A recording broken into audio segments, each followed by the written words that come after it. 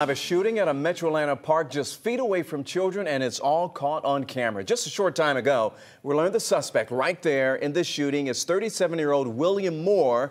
He's a former Atlanta Falcons safety released from the team in 2016. The shooting happened on Sunday afternoon at Alexander Park in Lawrenceville. 11Alive's Cody Alcorn is there live for us tonight. And Cody, you spoke with a woman who was inside her car when the man actually shot her door. Jennifer Ron, we just learned about this shooting a few hours ago. This woman says she was sitting in the car with her niece and son, both under 10 years old, when a gunshot rang out and the bullet hit her door. This woman is so shaken up, she asked we not identify her tonight. The victim says she brought her son and niece to Alexander Park in Lawrenceville after a birthday party on Sunday. She says her niece was playing with another little girl on the playground not long after that, I see them kind of playing tag, like slapping each other. Not in the face, but like on the arm. The woman says she didn't think much of it until a few minutes later. Moments later, I hear a guy come out of nowhere. Yo, get your effing parents.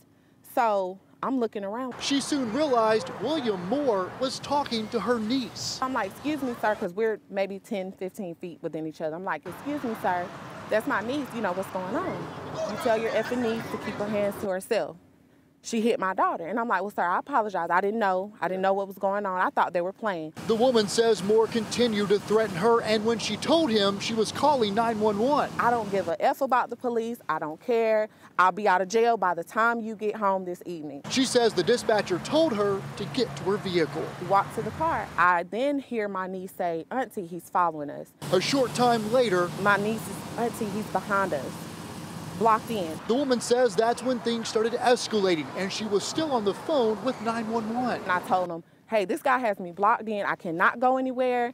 Somebody needs to get here now. By this time, a woman had shown up. Then see the girl poking holes in my tire, flattening, trying to flatten my tire. At this moment, I'm like, okay, I got to get out of here because y'all are y'all are really crazy now. She says she couldn't get out. As soon as I hit his car, I heard the shot. The shooting caught on camera. Gunshot. Gunshot. He shot my driver door. He shot at my car. Fortunately, as you can see in this picture, the bullet ricocheted off the door. Just a wild and scary encounter for this woman. And again, these kids were just under 10 years old and an arm's length away from this gun and this shooting. And the victim says while they're physically okay, mentally she's worried about the son and her niece. She says they'll likely have to have some counseling in the coming weeks and months. But we can tell you tonight, Moore remains locked up on several charges, including aggravated assault.